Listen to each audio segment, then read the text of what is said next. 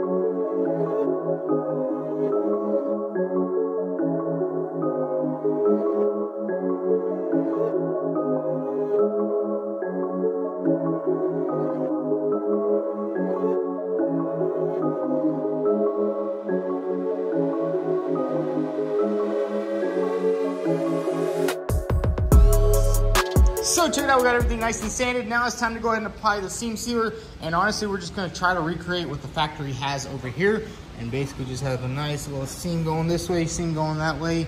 And basically we wanna make sure everything is just waterproof at the end of the day. It doesn't have to look 100% like factory. It just needs to be waterproof so no water gets in the trunk. I mean, look at it in here. I mean, you're never gonna see any of this because there are actual covers that cover everything up in there but we will just try to do it as good as possible. So let's go ahead and grab our seam sealer gun and get some seam sealer laid down.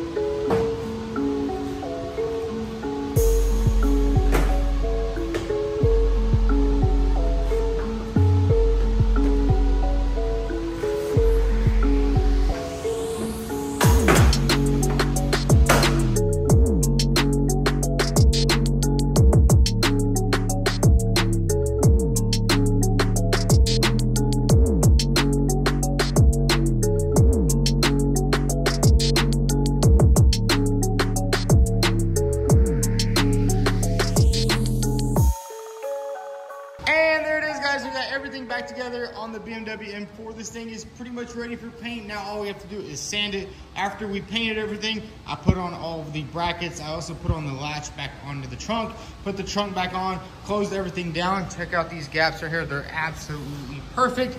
Everything lines up really good. We also had to do a little bit adjusting on this uh, passenger side quarter panel, but we got the bumper lining up perfectly. Now it's time to go ahead and sand this thing down. We're gonna start off with a 600 grit on the entire car.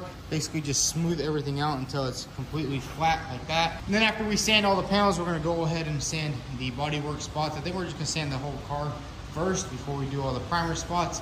So let's grab the DA and let's just get to sanding.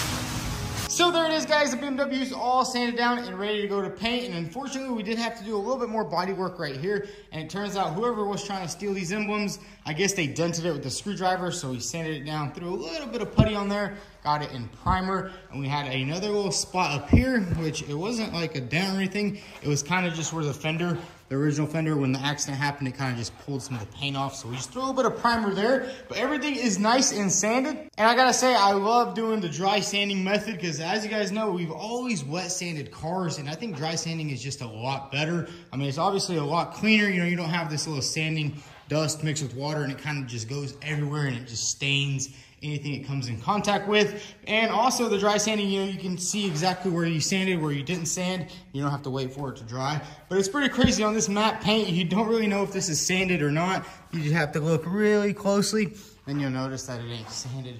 But anyways, man, the entire thing is nice and sanded. I gotta say, turned out really good. Now the next step is gonna be to go ahead and load this thing up on the trailer and tow it down to Florida.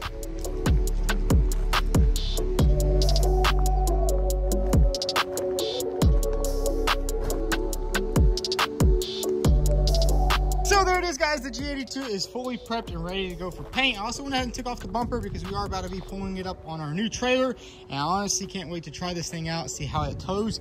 But man, check it out. The entire car is all sanded super good. We're gonna take off the door handle probably at the paint shop because if you do take it off right now, there's no way of opening up the door or closing it and I definitely don't want to be locked out. But yeah, everything turned out good. There was a lot of sanding to do on this car. We got it all done. We'll have to just sand this little spot right here.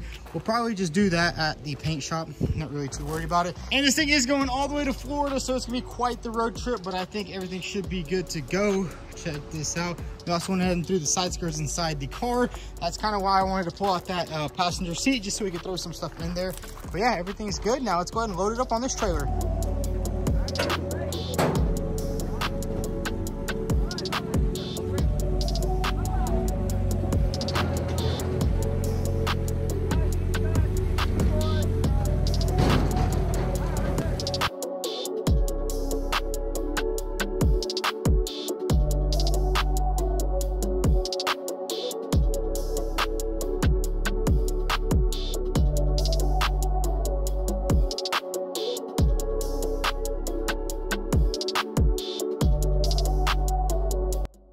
Just like that, guys, we are loaded up and ready to hit the road.